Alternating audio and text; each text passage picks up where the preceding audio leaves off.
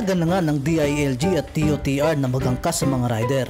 Pero asawa, live-in partner, BF o GF lang, bawal ang bet ka. Pero may requirements. Kailangang may barrier ang rider sa angkas.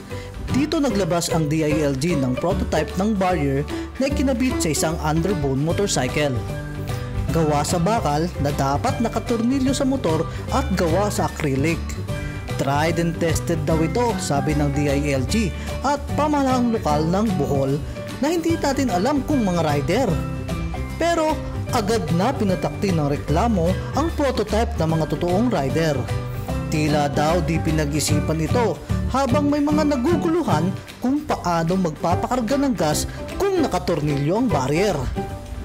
May isang netizen, tinatanong kung pwede ba yung barrier sa big bike niya? Sinabi naman ni Chai Lathey na okay lang basta walang palakasan at damay din dapat ang mga pulis at MMDA. Mabigat naman ang komento ni Raul na sinabing ginawang negosyo ng pamahalaan ang barrier. Sa kabila ng mga problemang ito, di pa rin maiwasang magpatawa ng ating mga netizen sa sari-saring bersyon ng kanilang barrier. May nagtaklob ng kahon sa buong katawan para nga naman sure na safe sa COVID. Eto, lamesa na ang pinangharang sa inyo. Sure naman na ligtas na ligtas kung plywood ang dadalhin sa motorsiklo. Panis din ang barrier ng DILG kung buong pinto ang daladala natin. Barrier baka mo? Eto, road barrier ang daladala ng dalawang ito.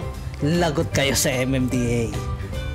Si Mr. naman, dinala na sa motor ang hobby niya na pamamalaan siya para di naman hanapan ng marriage contract ng mga huhuling enforcer at pulis.